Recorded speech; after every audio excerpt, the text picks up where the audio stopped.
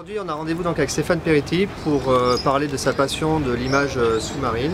Voilà, donc euh, je crois qu'il nous attend au pont Moselle, donc on, on y va tout de suite. Allez. Salut Stéphane, Salut Arnaud ça va? Ça va bien? Ouais, bon écoute, merci de- d'avoir répondu à l'appel. Comme je te disais au téléphone, euh, j'aimerais parler avec toi un petit peu de, de ta passion pour, euh, pour l'image sous-marine. Comme je sais que tu as déjà eu l'occasion de participer au festival et tout ça, enfin au festival d'image sous-marine. Donc, euh, voilà, donc en gros, est-ce que tu pourrais me dire comment tu es venu à, à cette passion? Bien, j'ai commencé il y a environ 8 ans la photo sous-marine.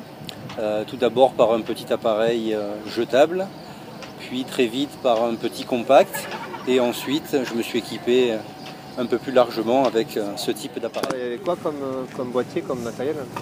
Eh bien, je travaille avec euh, un compact que j'ai porté d'ailleurs, que je place dans un caisson en aluminium.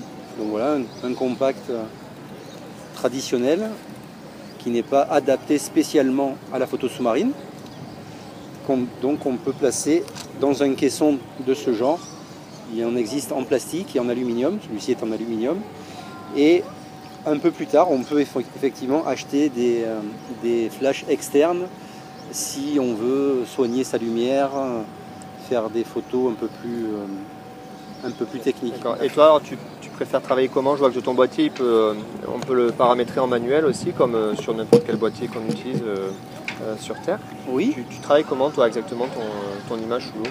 Moi j'essaye de faire euh, de la photo en manuel, euh, sauf lorsque j'ai des su- sujets en mouvement, quelquefois je ne sais pas forcément par où ils vont arriver. Là j'essaye de me mettre en automatique pour augmenter mes chances de réussite. D'accord. On pensait à- au Festival de l'image sous-marine. Oui, Euh, en regardant un petit peu sur Internet, j'ai vu que tu avais été primé en 2014, si je ne me trompe pas. oui c'est ça. C'est euh, donc quoi comme photo avec... tu avais présenté quoi en fait? J'avais présenté euh, une méduse euh, avec euh, un appareil photo beaucoup plus simple que celui-là, sans flash externe, un appareil euh, plutôt bas de gamme. Et j'ai eu la chance de recevoir le premier prix euh, en 2014, effectivement en photo. D'accord, ok. Et quel est l'intérêt vraiment de participer à ce genre de concours?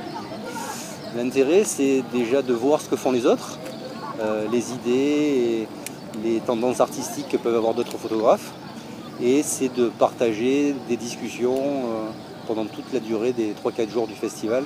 Bon, j'imagine que cette année tu y seras aussi? Oui, j'y serai. Ok, bon, on se donne rendez-vous en septembre alors au Festival de l'image. Rendez-vous début septembre. Allez, salut Stéphane, À bientôt, merci Arnaud. beaucoup, à bientôt. Merci à toi.